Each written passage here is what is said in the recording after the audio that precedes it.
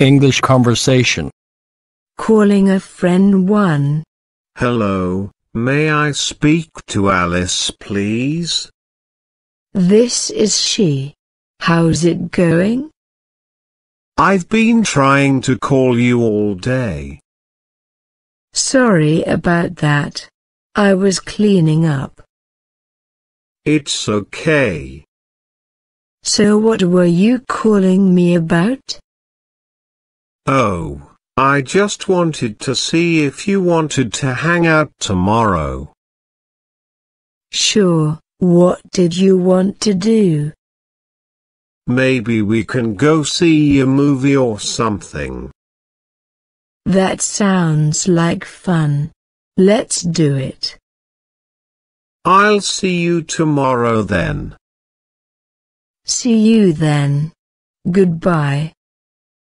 Calling a friend two. Hi, how are you? Is Alice there? Speaking. What's up? Why haven't you answered the phone? My bad, I had chores to do.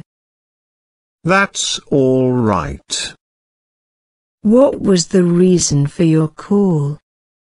I want to do something tomorrow with you. Sounds good. What did you have in mind? I was thinking about seeing a movie. Okay, let's go see a movie. Until then, Talk to you later. Calling a friend 3. is Alice available? You're talking to her.